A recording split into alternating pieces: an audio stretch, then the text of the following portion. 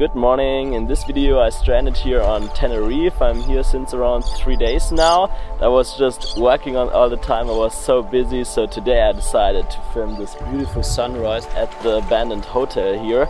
You can see that behind me. It looks so good. And what I like is that the sun comes a bit through the through the apartments or the apartments that are not existing.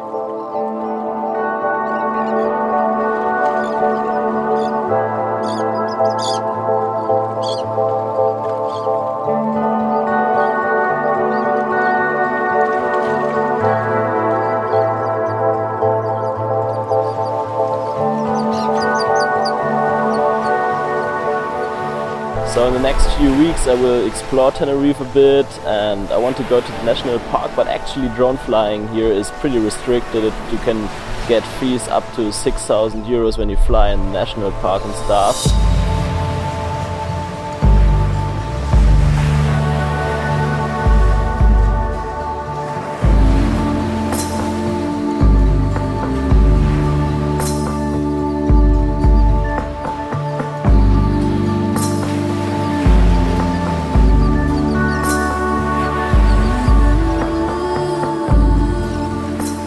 Cheap and easy to use the bus on Tenerife, but to go to the real good places it's much more convenient to have a car. So after one boring week I decided to rent one and it just cost me 280 euros for one month. My first trip brought me to a whale and dolphin watching tour and I had much luck on this day because it was one of the days where you were actually able to see dolphins. So we just arrived on the boat, we'll see some whales and maybe dolphins today.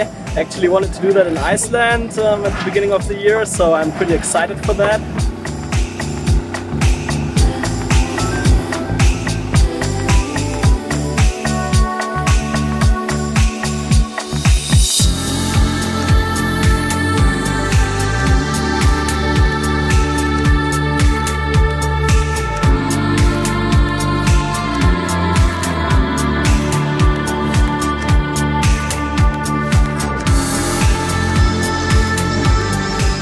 We were very close to the whales that were actually swimming right in front of our boat. That was amazing.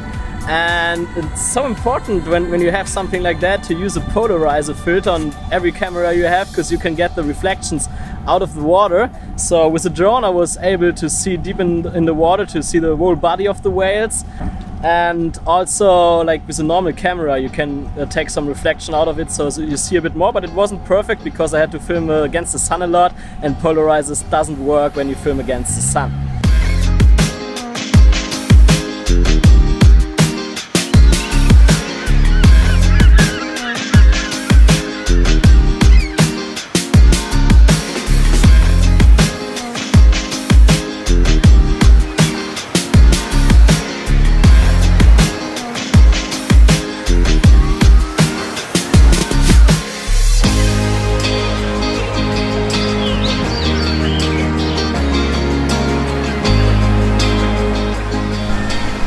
So I was just flying the drone right off the boat and the first time while the boat was moving, I never did that before and it was quite scary because I put in 300 meter of maximal distance, flight distance and the drone measures its distance from the home point so um, after 300 meters moving with the boat, suddenly the drone was standing in the air and didn't move anymore, but the, the boat was still moving.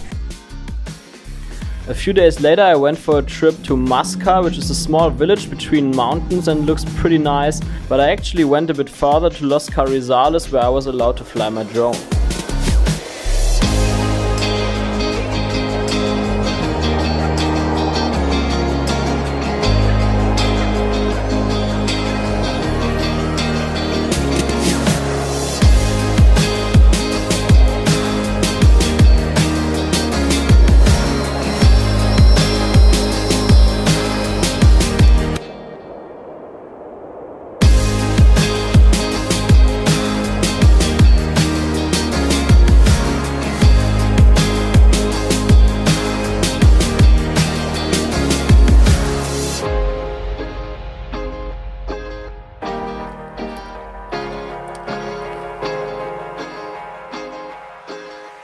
Half of the leg of a goat. so we're back right now at the pier. It was a nice trip and I must actually uh, say a big thanks to the company. It's uh, Seaquest FF. Um, I will put a link to them in the description of the video. And what I liked here is that they were actually letting me fly my drone. I mean, it's much more restricted in Europe and it was actually not that easy to fly a drone from that boat because there were lines everywhere and stuff so it was a bit dangerous but they still let, let me do that so big thanks here that's absolutely cool.